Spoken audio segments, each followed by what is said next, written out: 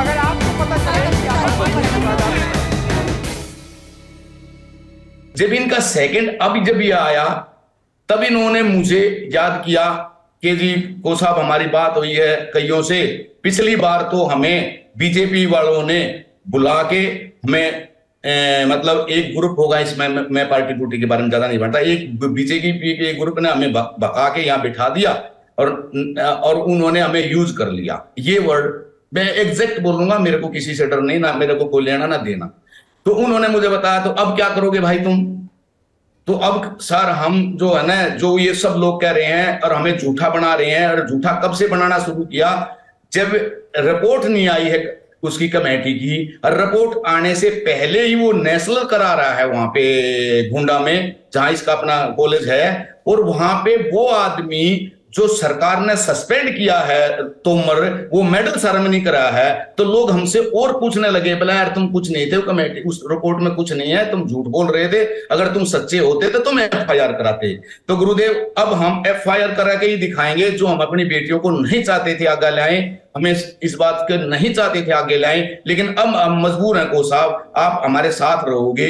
इस बार उन्होंने एडवांस में मुझसे बात की है कि आप हमारे साथ रहोगे, और आप अब पिछली बार की तरह हम ऐसे नहीं करेंगे, जाएँगे। आप चार पाँच कोच जाओगे, जहाँ भी जाओगे, हम नहीं जाएँगे आगे इस बार, लेकिन इस बार हम सब पार्टियों को बुलाएँगे। मैंने कहा, भाई ठीक है, वो तुम्हारी मर्ज़ी है तो हम ये करेंगे। मैंने कहा, ठीक है। लेकिन उस दिन बाई चांस मेरा दोस्त है, स्पोर्ट्स ऑफिसर है, senior sports officer, railway board का हमारा साथी रहा है। उसकी बेटी की साथी जयपुर। मैं उधर चला गया।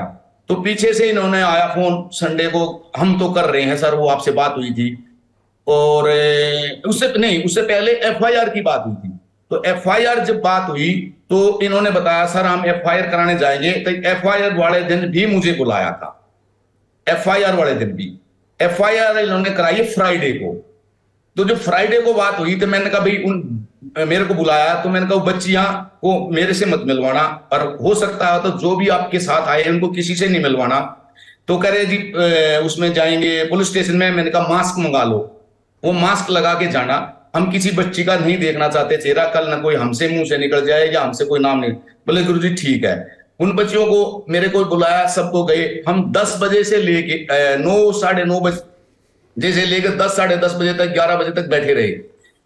अब वो ऑफिसर्स हेल्प करना चाह रहे थे। जो भी एस एच ओ था एसीपी था, सब। तो वो बार बार कह रहे थे, उन्होंने हमें अच्छा मतलब ये नहीं कहा अच्छा बिहेव भी किया, उन्हें पता चल गया था भैया ये आ रहे हैं। कि सर देखो हम मजबूर हैं। अब ये कोई केस ऐसा नहीं है हम आए आप एफआईआर कर देंगे।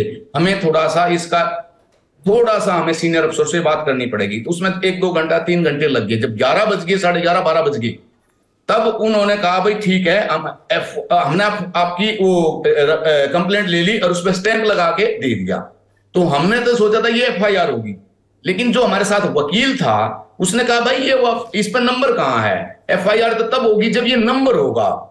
तो वो कह रहे हैं, नहीं, उसमें तो टाइम लगता है। एफआईआर में पहले आपका ये डालना पड़ेगा सारा, फिर उसका ओटीपी आएगा, फिर ओटीपी का नंबर जाएगा, फिर वो जनरेट होगा। तो वो तो उसमें तो बहुत टाइम लग जाएगा। आपकी ये हो तो गई, आप इसको लेके जाइए। तो हमने वकील से पूछा, मैंने कहा, भाई, हमें तो इसका नॉलेज नहीं है। हम तो पहली बार थाने में गया हूँ मैं तो शायद। तो वो कहने लगी, नहीं नहीं नहीं एफआईआर का हमें नंबर चाहिए एफआईआर नहीं है, ये तो आपने एप्लीकेशन दे दी, बस एक उसने ले ली, हमने रिसीव की है, ये वो नहीं है।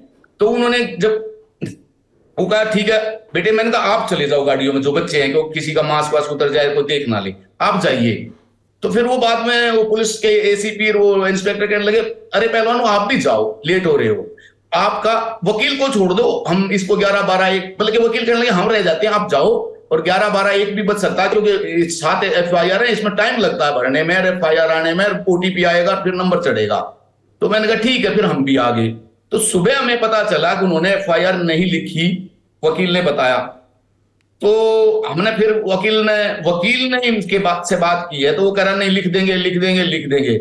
जब इन्होंने एफ़ आई आर भी नहीं लिखी तो फिर मैं उस दिन मैं नहीं था सैटरडे संडे में। तो इन्होंने संडे को जब ये सैटरडे को गए थाने में एफआईआर नहीं लिखी संडे को गए थाने में एफआईआर नहीं लिखी वही बाना वही बाना तो ये फिर सीधे जाके जंतर मंतर वहाँ से आके जंतर मंतर बैठ के कि फिर हम तो धरना ही देंगे। और मुझे इन्होंने फ़ोन किया तब मैं जयपुर था तब मैं तो रात को लेट पहुँचा था।